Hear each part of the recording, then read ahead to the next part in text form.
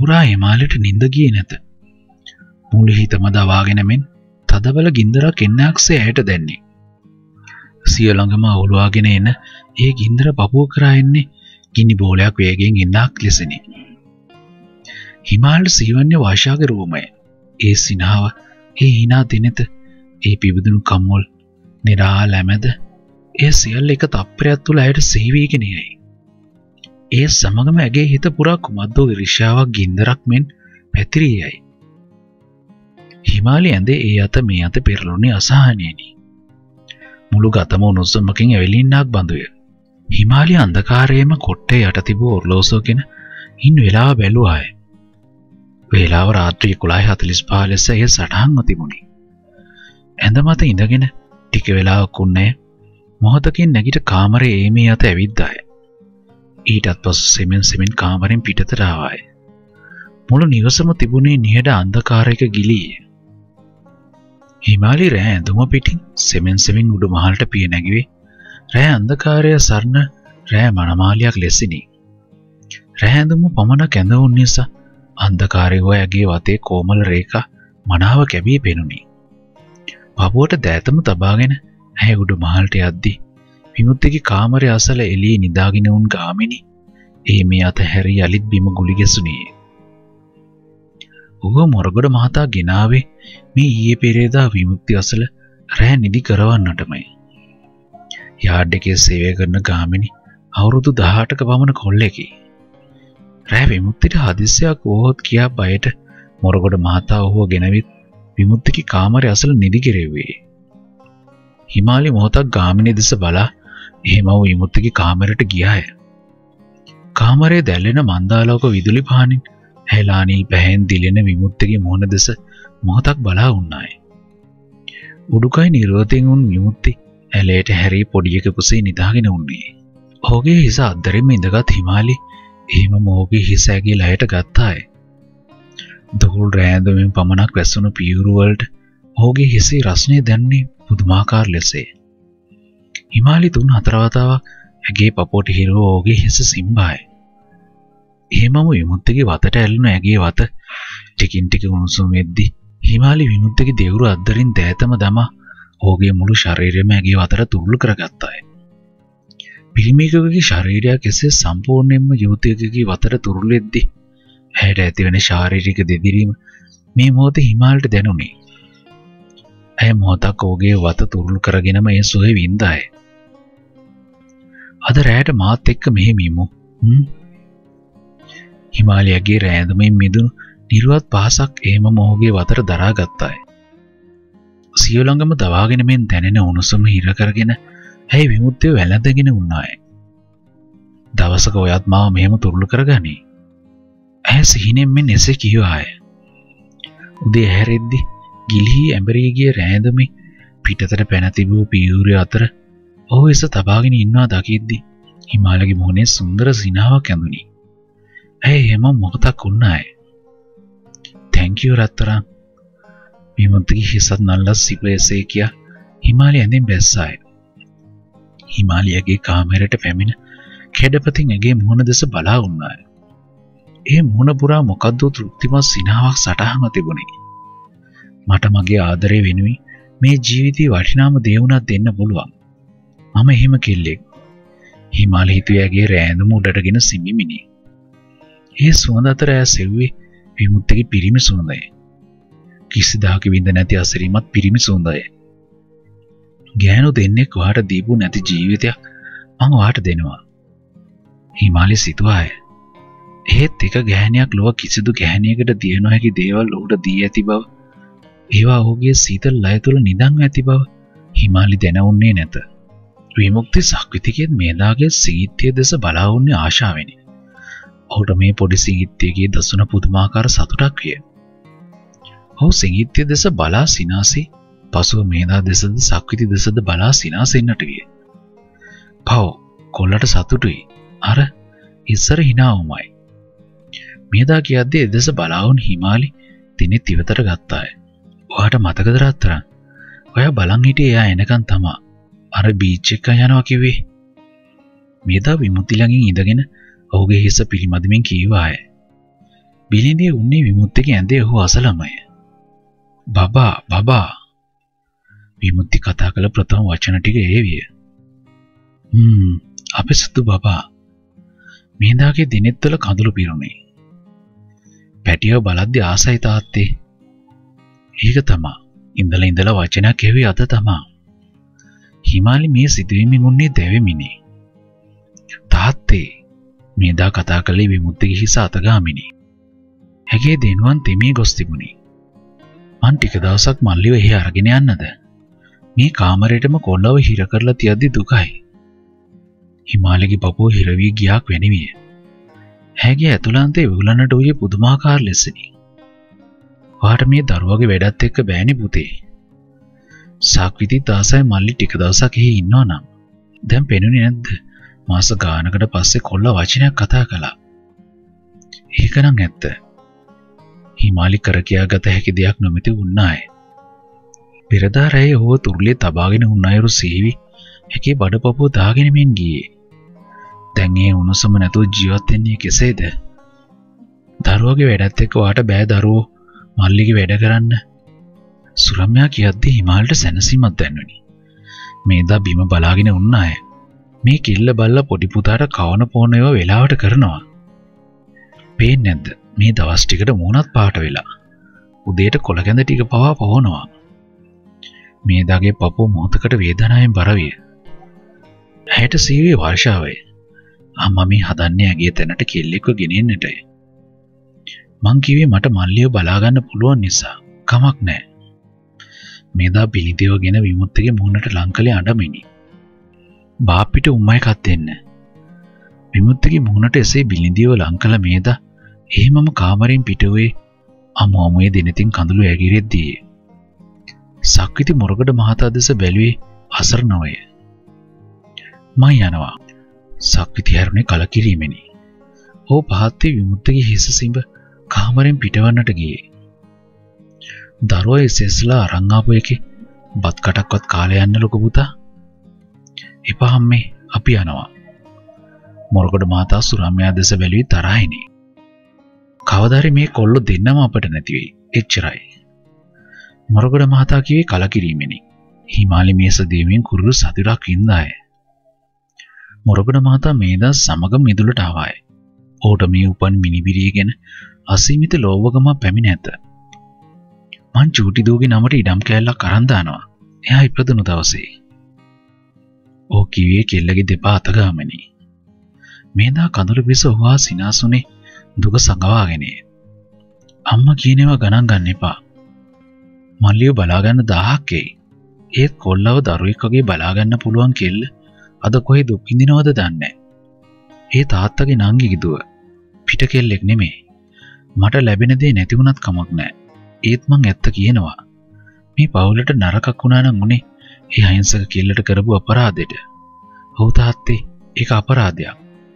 බලන්න අපි ගාව තියෙන සැප සම්පත් යානවාහන ඒ කෙල්ල නැත්තම් මේ දරුවා නෑ. මේ සතුර මට නෑ. කොහෙ ඉන්නවද දන්නේ ඒ තාත්ත දන්නවද? කොහේ හිටියත් කෙල්ල අපි දිහා බලන් ඉන්නවා. දරුවා ඉපදිලා පැයක් යන්න ඉස්සෙල්ලා.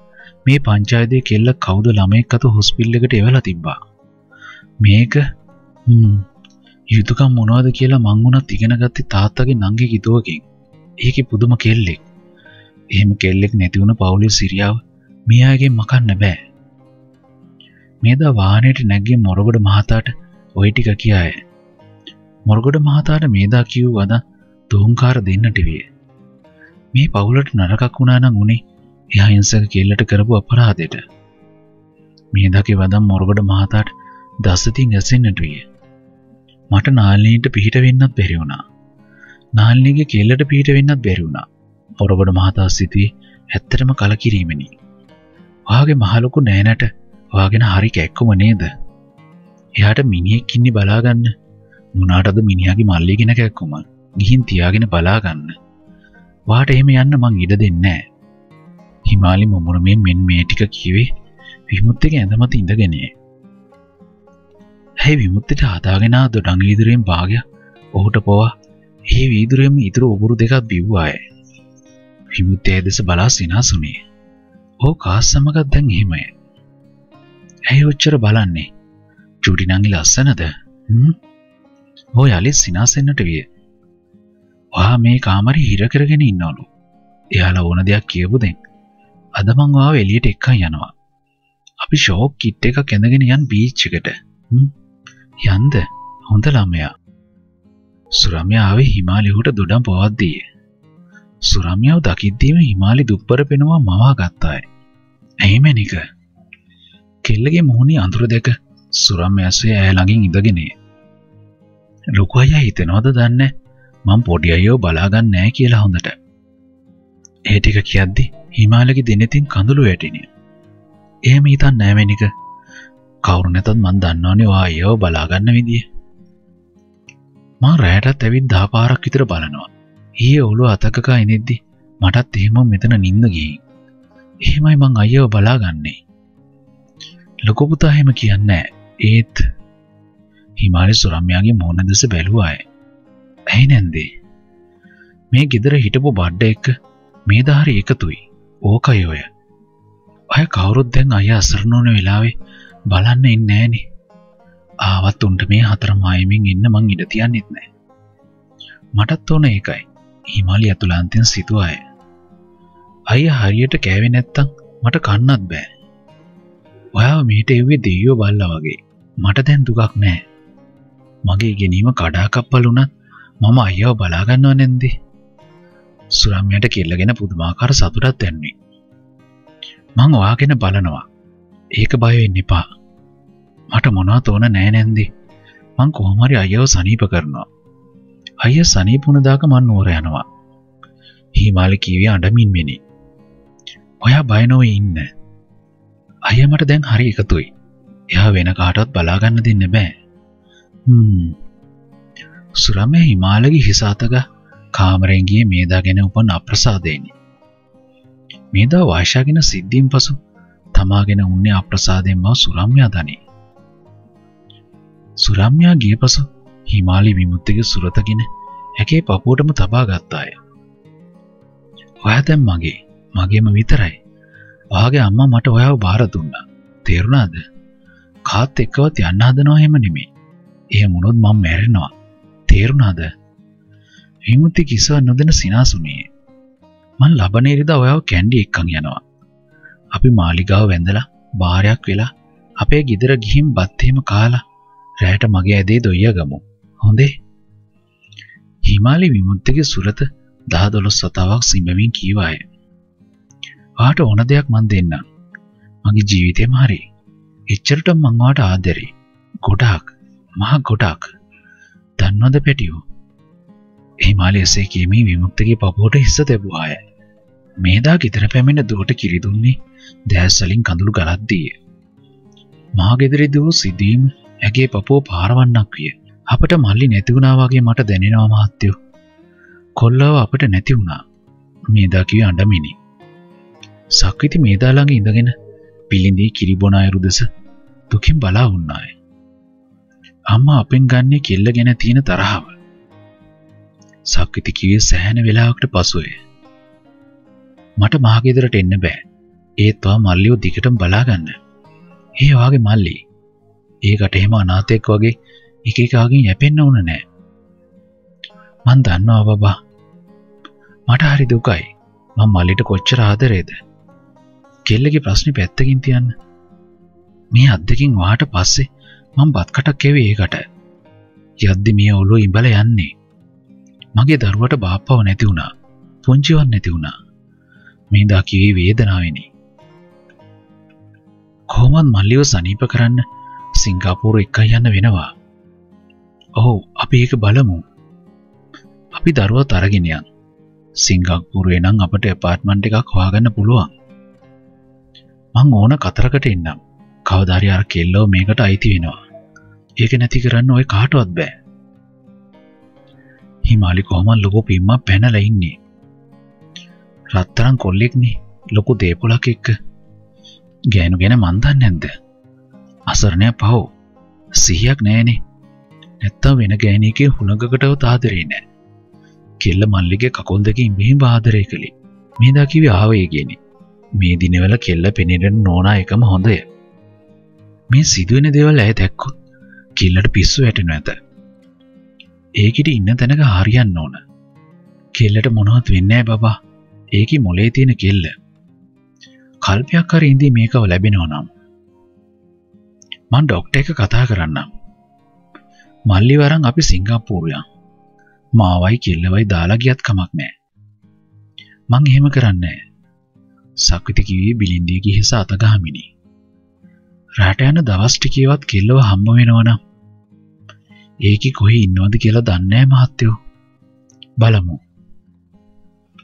සක්විති නැගිට්ටේ තීරණයක් කියනේ සක්විති කාමරින් පිටතරාවේ මාසයක් ඇතුළත කෙසේ හෝ වාශාව ස්වාගන්න අය සිතාගෙනේ. මේ රට පුංචි රටකි. රටේ පැත්තේ සිට මේ පැත්තට යන්නට යන්නේ පැ හතාටකි එහෙම රටේ නැතිවූ කෙනෙක් ස්වා ගැනීම එතරම් දෙයක් නොවේ. තමා කරමින් වුණු රැකියාවෙන් අස්වයේ කොල්ලාව සනීප කරගන්නට ඕනා නිසායි. එහෙම එකේ තවත් කල්මැරිය යුතු නැත. අදම් වෛද්‍ය සමරණයක මාතා සමඟ කතා කළ යුතුය. හෝ ඉමුත්තගේ තොරතුරු සිංගප්පූරේ රුවල්ට ඊමේල් කර ඇත. සමාරට දැන් විද්දයට පිළිතුරුද ලැබේ තිබෙන්න්නට පුළුවන. යුතුකං ඉටු කරද්දි ආක් බලාගෙන සිටිය නොහැක. තමාට ඇත්තේ මේ සහෝදරය පමණි.